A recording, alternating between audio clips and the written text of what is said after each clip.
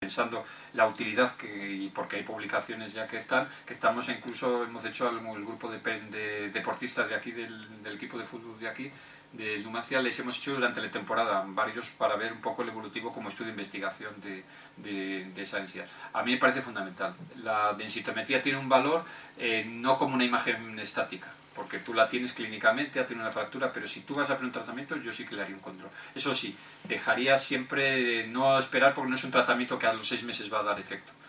Un año por lo menos y ver a ver cómo evoluciona. Estoy de acuerdo contigo y además me parece... los tres años un poco que está establecido para el tratamiento máximo con bifosphonato. Me parece que, que, es válido el tiempo que se fije en el caso del tratamiento, me parece que, que puede tener su utilidad. Además, me parece interesante. Tenemos pacientes mayores y es una forma de... No es una, además un estudio que tenga una alta demanda. Eh, hubo una época en la que bueno se vendió un poco, yo creo, que casi se quería hacer a toda la posmenopáusica y esto se ha sentado y ahora yo creo que las densitometrías que llegan en general están bastante bien indicadas. Es una técnica que pide primaria especializada. Nosotros estamos bastante contentos en ese sentido. Y además lo que vemos es eso, que al que tiene realmente osteoporosis sí que no le suelen pedir un control. Ya tenemos pacientes con varios, con dos, con tres controles a mí me parece importante. Siempre que el paciente pueda estar tumbado, el problema de la posición es que si está con mucha cifosis, pues claro que, se queda ahí en la mesa un poquito danzando, ¿no? La densitometría además tiene una cosa, y es que de momento, hasta ahora le hemos podido ir controlando una a una un poco que salga bien, porque la máquina hace unas mediciones, parece automáticas, pero a veces, sobre todo en pacientes mayores con osteoporosis, se equivoca, empieza a sacar medidas raras, y de momento estamos pudiendo, antes de que salga, hacer nosotros la reconversión de las zonas que pero sí que me parece, me parece perfecto. Bueno, pues alguna cosa de fractura, bueno, ya sabéis que, tiene su importancia, estamos hablando de un, de un, problema importante, estamos hablando de un problema muy frecuente, eh, fijaros que es tan frecuente que está al nivel de riesgo cardiovascular y por encima del cáncer de mama. Y parece que el cáncer de mama estamos todo el día con él y, ahora tiene una campaña tremendas a nivel de la población, que es muy interesante y está fenómeno, pero este es un problema, nuestras mayores, nuestras abuelas están todas así más o menos. Hay zonas típicas de riesgo de, fractura, ya lo hemos dicho, muñeca, columna, cadera, estas son las localizaciones más habituales. Pero mm, yo simplemente un poco esto como, como fotografía, es decir, no nos obsesionemos, no todas las fracturas son por osteoporosis. ¿eh? Cuidado porque están, podemos tener por debajo otro tipo de patologías que nos están indicando que este paciente pueda tener otra, otro tipo de enfermedad. Que sí, que la mayoría son por osteoporosis, pero algunas se nos escapa y resulta que la primera manifestación, pues por ejemplo, de una metástasis de una, de una neoplasia. Las formas de las, eh, de las fracturas se han intentado clasificar de de muchas formas, bueno, pues lo que hemos comentado, lo normal, que pierda, disminuir altura en la zona central debido a este tema del, núcleo pulposo del disco intervertebral, pero bueno, se pueden ir produciendo en cualquier otra presentación. Tal forma que el acuñamiento sí que se ha considerado como un signo en la osteoporosis senil de evolución o de control. En función de este eh, acuñamiento que sea moderado o sea severo, pues nos puede de alguna forma clasificar eh, la afectación que tenga más o menos importante eh, de la osteoporosis en este paciente tienen los signos que hablamos de osteoporosis, osteopenia con disminución de la densidad, trazado a tiralíneas, empieza a marcarse, pero en este caso ya se ha producido una fractura, una disminución importante, una, eh, estos acuñamientos múltiples en la zona anterior, lo que va produciendo lógicamente la cifosis del paciente el signo que comentábamos antes, que es muy fijo, a veces ya llega siendo tan llamativo que tenemos esta deformidad de, las vértebras. Eh, fijaros que como realmente esto se está produciendo microfracturas, el, digamos, el organismo intenta defenderse, intenta vascularizar más esa zona y lo que se produce son osteofitos adyacentes. Los osteofitos, ya lo diremos el próximo día en las artrosis, no son más que una hipervascularización en la zona del hueso. Esa eh, hipervascularización porque el hueso está sufriendo, hace que se produzca un hueso extraordinario, ese es el osteofito. El osteofito lo único que nos está expresando es que esa articulación está teniendo un problema de degeneración, un problema de artrosis, un problema de sobrecarga. creo que las imágenes, la verdad que seguro que tenéis alguno de vuestros pacientes con alguna de estas lesiones, alguna vez que con acuñamiento incluido, pérdida de altura más marcado, la, forma bicóncava de las vértebras, está la forma típica de presentación de la osteoporosis. Y luego podemos valorar por distintos niveles de fractura, de pérdida de altura, podemos hacer una medición que está aquí marcada del cuerpo vertebral, tanto en la zona, digamos, posterior como anterior, que tenemos ahí unos puntitos y podemos medir y ver si existe. Y sobre todo lo importante es que estos pacientes tienen normalmente muchas radiografías, porque vienen muchas veces a urgencias o a la consulta porque presentan dolor y entonces eh, lo que hacemos es comparar lo que hemos dicho siempre en el tórax, comparamos con lo anterior y vemos si hay una pérdida de altura significativa entre un control y otro. ¿Qué es lo que pasa cuando tenemos fracturas de los cuerpos vertebrales? Pues ya lo sabemos, nos hacemos más bajitos, la abuela cada vez es más bajita, empieza a tener una deformidad de la columna, tiene lógicamente dolores y se produce unas alteraciones eh, unidas a estos acuñamientos, es decir, incluso problemas de tipo digestivo unido. el esquema gráfico, gráfico en el cual pues, nosotros vamos perdiendo esa altura, se va produciendo esa cifosis y lógicamente se pone una serie de complicaciones no solo sobre la columna. Eh, las fracturas tienen una trascendencia fundamental. Viendo aquí geriatras, no que tengo yo internistas o reumatólogos, no puedo decir yo nada porque esto es, esto es el día a día. ¿no? Tenemos una importancia fundamental de, la afectación y hay muchos estudios que, hablan de la importancia de las fracturas vertebrales. Y eh, recordaros que el TAC vertebral debemos reservar cuando el paciente acude a nosotros, a la urgencia o a la consulta, estoy presenta un dolor muy importante y la radiología no me expresa nada. Entonces, bueno, pues la radiología se puede pasar que este paciente sí que tiene una pequeña fractura, acuñamiento de la parte anterior, que a lo mejor en la radiología no hemos conseguido ver. En estos casos, la verdad que el TAC, como siempre, ayuda, pero no debía ser la prueba diagnóstica inicial. Lógicamente, si además tiene un traumatismo, pues si ya tiene una fractura severa, pues lógicamente tenemos que hacer una evaluación porque ya sabéis que lo que necesitamos hacer es una evaluación de la estabilidad de la fractura y de la afectación del canal medular en el grado que tenga de afectación del mismo. Y la resonancia lo mismo, es decir, no es habitual que tengamos que hacer una, una resonancia magnética, pero si lo que estamos sospechando es un problema a nivel del cono medular, pues lógicamente pues la causa en este caso puede ser una fractura acuñamiento porque el paciente haya tenido osteoporosis. fijaros aquí el signo este que decíamos antes, en el cual el núcleo pulposo llega a meterse dentro de la vértebra que tiene inferior porque digamos el, el, platillo no aguanta y el núcleo pues que se invagina dentro del núcleo. Las de fractura de cadera y pelvis son muy frecuentes más en los pacientes mayores, tienen una mortalidad elevadísima, eh, estamos hablando de fracturas con unas complicaciones altas y que pues muchas veces si el paciente está en buenas condiciones requiere un tratamiento quirúrgico y una, no una osteosíntesis sino incluso una, una prótesis. ¿no? Las fracturas eh, no se nos olvide que no solo son de la de la cabeza del cuello, perdón, del cuello femoral, sino que también a veces el cuello aguanta y lo que hace es impactar y vemos fracturas de pelvis mm, y tenemos fracturas complejas a nivel de, la pelvis. Ahí el TAC sí que, como en todas las fracturas complejas, no, nos ayuda, aunque lo habitual sea la fractura de cuello femoral que vemos todos los días prácticamente en la, en la, en la urgencia.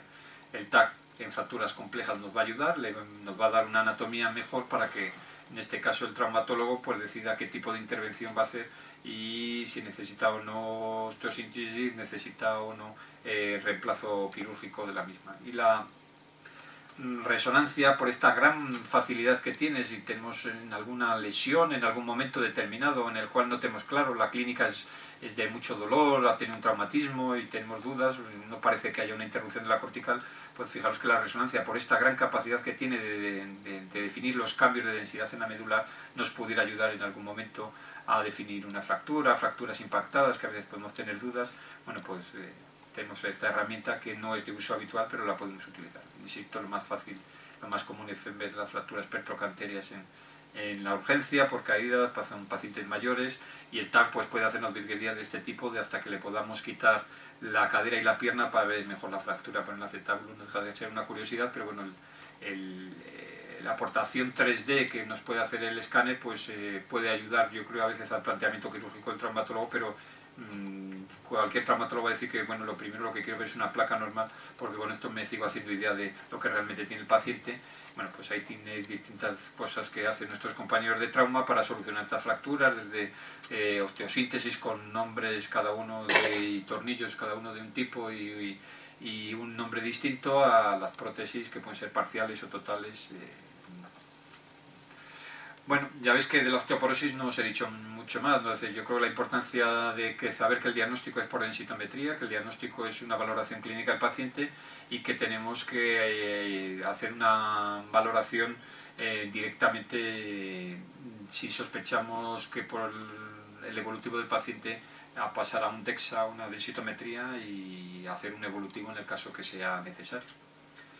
Bueno, vamos a pasar yo creo que ahora que estáis todavía frescos y de que vamos a ver algo, por lo menos una parte de, la, de las, eh, cómo nosotros intentamos eh, ver las lesiones óseas.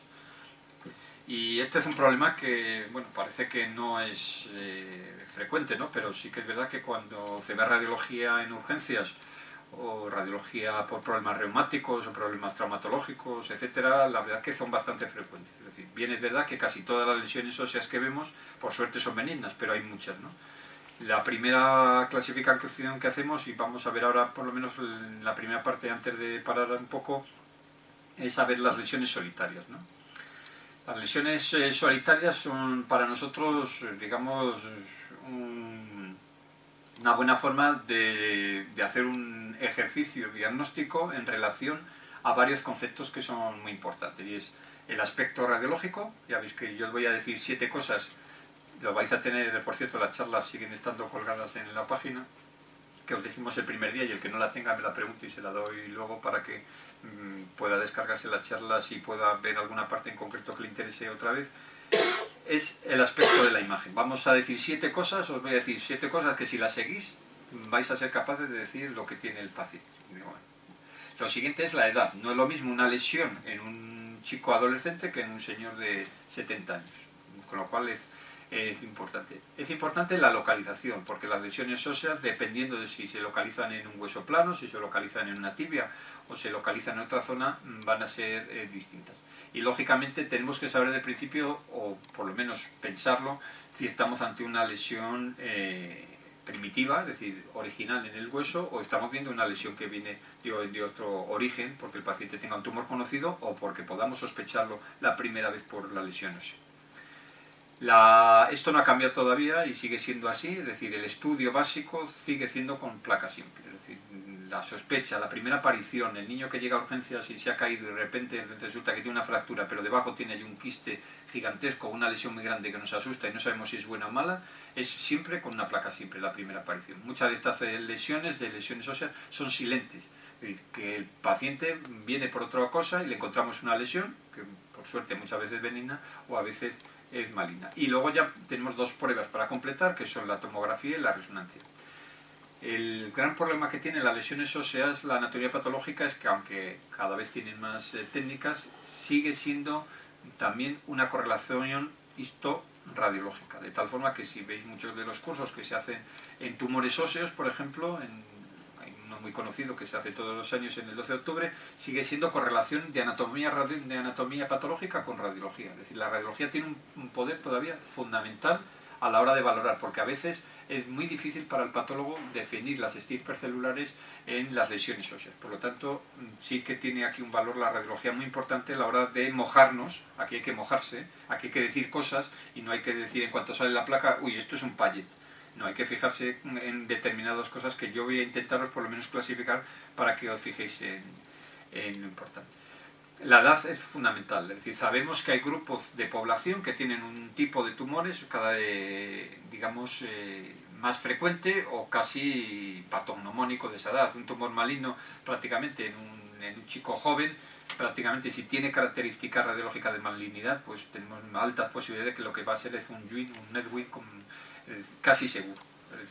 Mm, si en cambio este tumor con esas mismas características de agresividad lo tenemos un paciente de 60, 70 años, vamos a pensar en tumores agresivos muy malignos como son el reticulosarcoma o otro tipo de tumores. Con lo cual, la edad es un dato muy importante y ahí tenéis bueno, pues, reflejado alguna de las frecuencias mm, más, eh, más habituales. Lógicamente, según va avanzando la vida, en los años, pues tenemos más posibilidades de que lo que tenga el paciente sea metástasis que y tenga una frecuencia mucho mayor. Bueno, mm, la edad es un dato fundamental. Vamos a valorar dónde está localizada, porque según la localización nosotros también nos podemos orientar. fijaros que hay tumores que eh, en su localización van sobre todo a la zona digamos de mayor vascularización y sabemos que lógicamente las metástasis son la, eh, digamos la zona o el tumor que va más hacia la zona vascularizada. Perdona, ¿me podías hacer un poquito de agua? Sí. Bueno, ahí tenéis alguna lesión. Este es un signo que nos gusta explicar a todos los residentes y que es en el que detectamos casi siempre las metástasis óseas en eh, las vértebras. Y es que la zona más vascularizada de la vértebra es el pedículo, ¿no? esa zona eh, que une el cuerpo con el arco posterior. Y el pedículo, sabéis que cuando lo vemos de frente lo vemos con estos dos ojos o dos faros, según eh, cada uno lo quiera llamar, que lo único que expresan es la cortical ¿no? del pedículo, que la vemos más densa a través del cuerpo vertebral. Esa zona es la zona más vascularizada de la vértebra. El ver ahí ese faro encendido o apagado, ¿no? con una lesión más blanca o más negra nos está indicando casi siempre en un paciente mayor que estamos ante una metástasis porque es su zona de predilección. Ver metástasis en costillas pues a lo mejor nos puede costar más porque tenemos ahí una superposición de, lesiones. A veces las metástasis son difíciles de evaluar, ¿no? es decir, que, que no son tan fáciles que podamos fijarnos que aquí tiene alguna zona que digamos que ha desaparecido hueso. Otras, pues en este caso, mm, pues las lesiones son tan extensas que nos, da a preocupar y decir, bueno, ¿qué es lo que estamos viendo? Estamos viendo una lesión primitiva, estamos viendo una lesión difusa, fijaros que, que en este chico joven tenemos metástasis en los dos fémures de forma muy extensa, o en este caso en este húmero que llega desde la cabeza y afecta a la cortical y veremos que tiene signos aquí de irregularidad de, de la cortical del periósteo que para nosotros son muy importantes.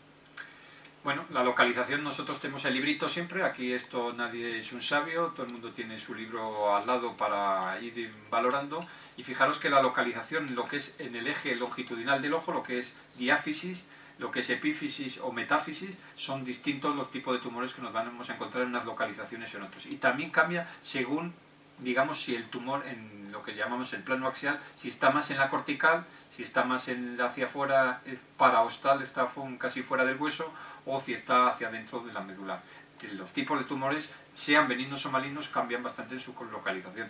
Cuando nos encontramos, por ejemplo, un tumor en un chico más o menos eh, joven o una persona no muy mayor, que vemos que traspasa lo que es una línea que realmente es una línea importante, que es la metáfisis, pues eh, y tiene las características que ahora vamos a ver, pues pensamos que probablemente sea un tumor de células gigantes.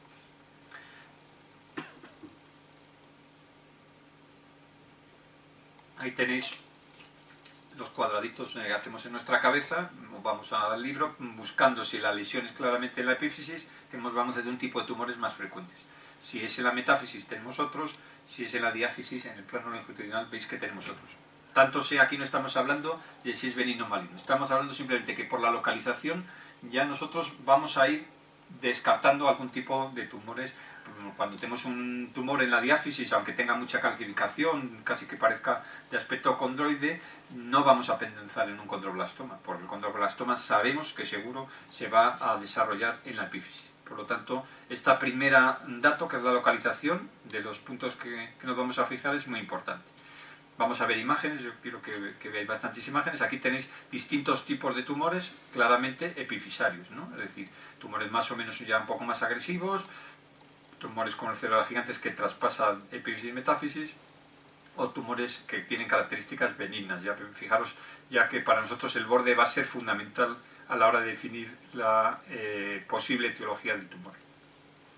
Tenéis ahí otras lesiones, en este caso con estudio de TAC y de resonancia, de una lesión con una agresividad media, fijaros que rompe la cortical, aquí la vemos que en una parte estaba bien definida, por esta parte diremos, bueno, pues parecía que tenía signos de claramente benignidad, pero lo que tenemos ya es que el crecimiento ha producido una rotura de la cortical y lo vemos claramente tanto en el TAC como en secuencias de resonancia magnética T2. Hay lesiones que están muy cercanas o cerca de la metáfisis, aunque en el plano, en este caso axial, están paraostales, están cerca o por fuera del hueso. ¿no? Entonces, bueno, pues las típicas lesiones de la metáfisis son de origen osteogénico, ya sea benigno o maligno. lesiones que claramente son diafisarias, es decir, lesiones como estas, lesión expansiva, que crece, que tiene el borde muy bien definido, que sabemos cuándo es el hueso sano y cuándo es el hueso patológico, esto es uno de los datos que nos vamos a fijar ahora, pues son típicamente de localización diafisaria. Pero también hemos dicho que nos importa mucho la localización de la tumoración en el plano axial, es decir, si está más en la zona central, si es excéntrica, si es claramente solo de la cortical, la lesión que probablemente vea Marina más frecuentemente cuando pide una placa de tobillo o de rodilla en, la urgencia es el fibroma nosificante, ese defecto que, que, a veces es muy llamativo porque puede incluso ser grande, pero son lesiones claramente que están en la cortical. Nos fijamos y es una cortical que está expandida, el resto del hueso está normal, nunca está rota la cortical. Tenemos unos signos que ahora veremos para diagnosticarlos, pero claramente su localización es cortical. Luego hay otros pues que podemos tener más problemas si son centrales o estar un poco excéntricos, pero bueno, intentamos de alguna forma hacernos una idea primero de su localización. Fijaros, esto es una localización claramente excéntrica pero fijaros que es que claramente tiene que ser una lesión, está abriendo, aunque aquí parece que incluso haya roto la cortical y podría, está en una lesión que no está afectando para nada a la medular y está expandiéndose, fijaros cómo abre aquí la cortical, nos fijamos aquí en el borde siempre de la lesión para, para intentar saber su origen y claramente es de origen excéntrico cortical. Aquí tenemos un tumor más agresivo, ¿no? metáfiso eh, diafisario, un tumor de células gigantes, pero la localización nos puede orientar en el tumores o lesiones centrales. En este caso es toda una lesión central que ha tenido una fractura patológica. Cuando hablaremos de fracturas, mm, diremos que hay dos tipos de fracturas. La acorde, pero nadie la dice, que es la fractura normal, y la fractura patológica, que es la que se produce sobre un hueso que le tenía una patología previa, o un quiste en este caso, o una osteoporosis, o un tumor. Lesiones claramente corticales. Fijaros que esto es, aunque es muy llamativo, está claramente localizado dentro de la cortical cuando hacemos las dos proyecciones, acordaros que esto siempre hay que verlo al menos en dos proyecciones, pues aunque es una lesión muy llamativa, con una densidad muy heterogénea, podemos trazar con un lápiz claramente cuál es su borde y sabemos que el hueso sano que está al lado eh, no está para nada afectado, fibroma nosificante. Bueno, ¿Cómo me enfrento, cómo nos debemos enfrentar una vez que sabemos la edad y la localización? De momento no hemos clasificado mucho, porque resulta que aquello que vemos puede ser benigno, maligno. Primera cosa que hacemos, tenemos que decir, ¿la cosa está blanca o negra? Así de sencillo. ¿eh? Esto es simplificando al máximo el esquema diagnóstico de las lesiones O sea, Lo primero que tengo que decir, y como está mal eso decir que está blanca o negra y somos médicos, tenemos que decir si es lítica o blástica. O crea hueso o lo destruye. ¿eh? Un poco... Entonces, esto es nuestro primer punto. Primero tenemos que decir cuando veamos una lesión, no... Ah, eso es un quiste, no sé qué, no. Es una lesión lítica o blástica. ¿Vale? Es fácil. Lesiones blásticas.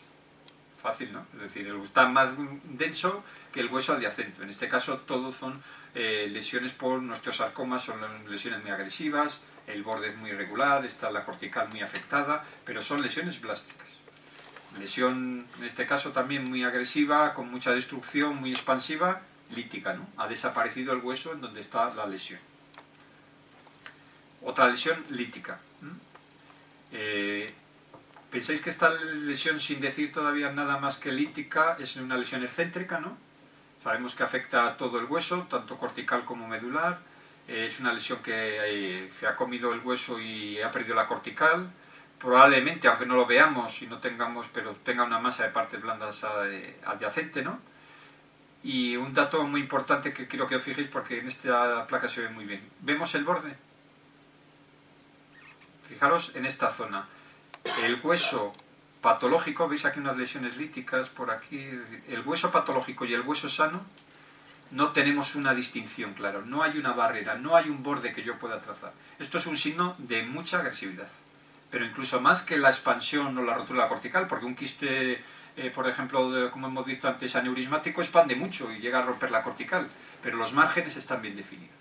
La transición del hueso sano al hueso patológico para nosotros, como veréis ahora, es fundamental. Y ahí está, aquí, es el segundo punto. ¿Os acordáis primero si es blanco o negro, no? Lítico plástico. Lo segundo, ¿cómo es el borde? Para nosotros es muy importante porque el crecimiento del tumor eh, también es muy listo en ese sentido. Mm, eh, si le cuesta comer algo, digamos, se va mm, destruyendo más rápidamente aquel hueso, comiéndose, por decirlo así, creciendo en el fondo las células tumorales por donde le resulta más fácil.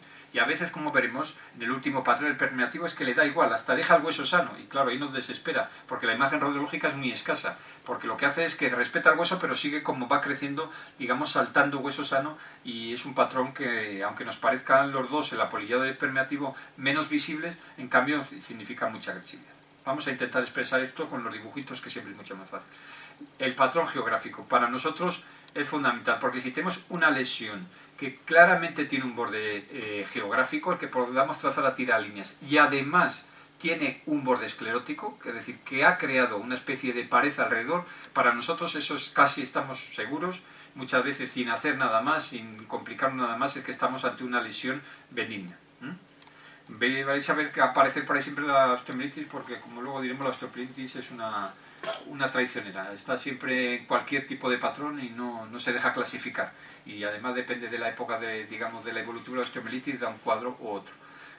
Los quistes óseos, los fibromas nosificantes, los encondromas, los condroblastomas, displasias, todas estas lesiones son benignas y están siempre trazadas a tiralíneas son muy espectaculares. Fijaros, aquí un fibroma nosificante cortical es una lesión como muy, muy llamativa porque es un hueso que ha crecido de forma anómala, tiene un, un crecimiento eh, fibroso, no es una arquitectura ósea normal, pero claramente es una lesión benigna, es decir, en cualquier zona de que yo me ponga a ver la lesión puedo trazarla con tiralíneas. Y el hueso, insisto, que está al lado de la lesión es un hueso perfectamente normal, con lo cual estoy casi seguro, no tengo que hacerle nada a la criatura, eh, a este chico joven, más que controles. El encondroma, que lo vemos mucho en los dedos, está aquí muy ampliado. Bueno, pues lo mismo.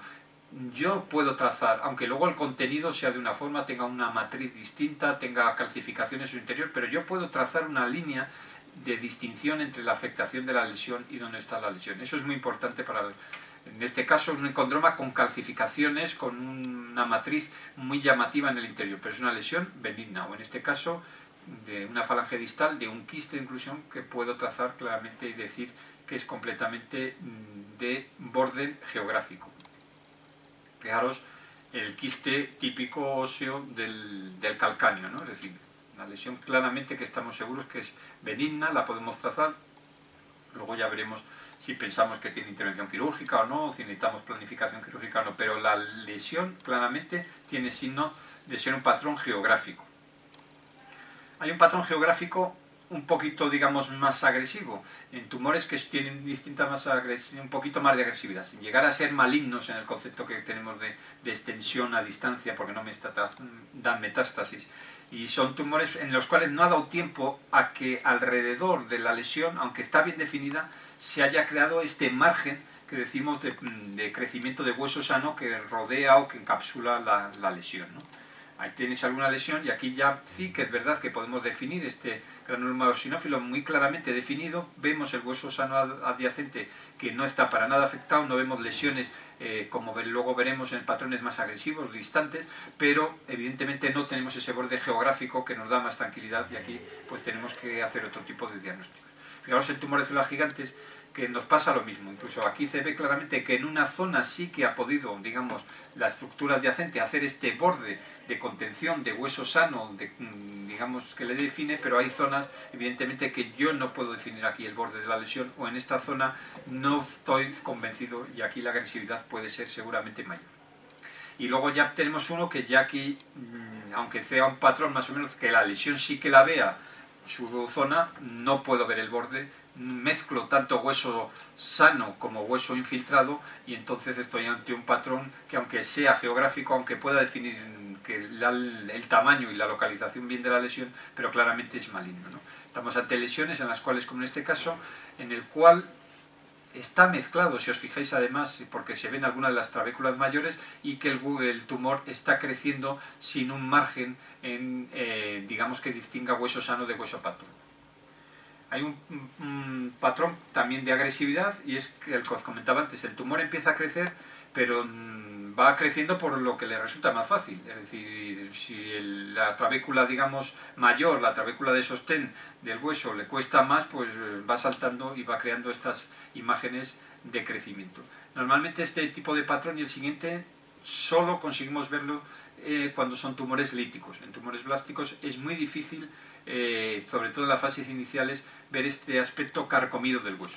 En, cambio, en las lesiones líticas sí que nos es más eh, fácil de ver. Aquí lo tenéis, en caso de un tumor con mayor agresividad, es verdad que en algunas zonas el tumor está contenido, pero fijaros, ¿no? No sé, veis que ha mantenido este hueso por en medio, pero el tumor ha seguido creciendo, ¿eh? Dejando zonas de hueso sano saltando. Este tipo de patrones en los cuales vemos que hay hueso sano entre las zonas de la lesión significan agresividad, curiosamente. Aunque nos sea más llamativo ver un quiste muy grande o una lesión muy grande como el tumor de células gigantes, pero este tipo es mm, muy agresivo porque significa que respeta hueso sano y está creciendo a una velocidad muy elevada. Y luego el permeativo es el más difícil, porque es un patrón que prácticamente crece y casi que no le ni, ni, se entretiene a destruir, por decirlo así.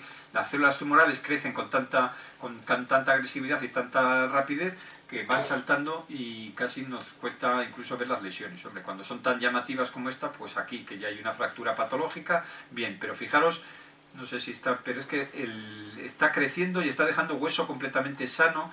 El, sin afectar la lesión tan agresiva. En el caso, una, una, lesión tipo linfoma en, lo mismo, ¿no? es decir, está con un crecimiento muy, muy rápido y muy llamativo. Bueno, dos cosas, ¿no? Tenemos es lítico, es plástico y vamos a ver el borde. Según tercer dato que nos fijamos, ¿cómo es por dentro?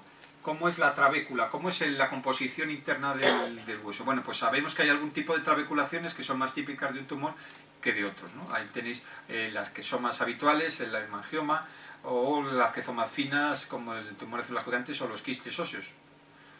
Vamos a ver alguna imagen. Fijaros, una lesión mmm, parece muy agresiva, ¿no? Es muy expansiva, pero fijaros lo que decíamos, ¿eh? Muy, el aspecto del borde, aunque sea muy insuflante, es muy de benignidad. Es tan de benignidad que además, no sé si os fijáis, tiene un signo que luego vamos a ver como reacción perióstica benigna, que es el contrafuerte, este, este, este crecimiento de la cortical intentando mantener que, la expansión de, estas células, en este caso aunque sea benigno el tumor, no terminen de romper la cortical. Bueno, ahí veis esta trabeculación fina, esto es muy típico de los quistes óseos, ¿eh? esta aparición de trabéculas finitas dentro de la lesión. La típica de trabécula grosera es la del hemangioma, que simplemente es un crecimiento anómalo del hueso, no confundir en el caso que veíamos antes de trabécula grosera de la osteoporosis en las vértebras.